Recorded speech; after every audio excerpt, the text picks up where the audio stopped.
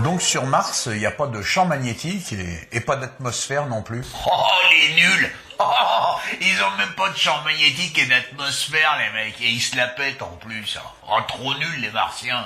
Oh, les mythos Ils se la pètent et ils ont même pas de champ magnétique et même pas d'atmosphère. Oh, poutinesque, les mecs. hein. Oh, les ringards C'est ça, à, la, à la tienne. allez, aux nazes Oh, les ringards